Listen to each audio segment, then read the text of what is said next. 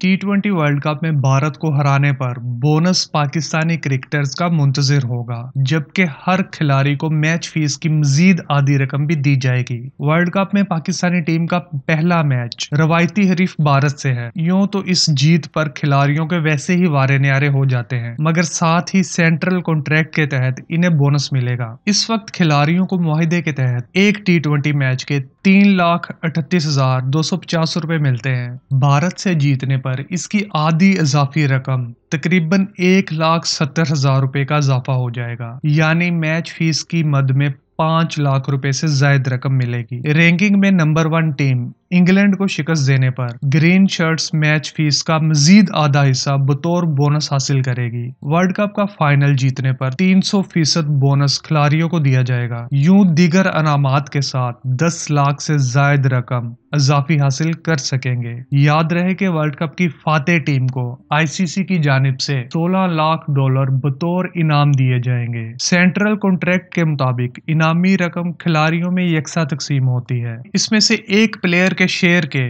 बराबर रकम team management को भी दी जाएगी। पीसीबी प्लेयर्स के लिए आमतौर पर अलग से इनाम का ऐलान भी करता है। हुकूमत और दीगर शख्सियात से भी इनाम मिलते हैं। इस लिहाज से अगर वर्ल्ड कप में पाकिस्तानी टीम ने कामयाबी हासिल कर ली तो तमाम प्लेयर्स बिलीनियर बन सकते हैं।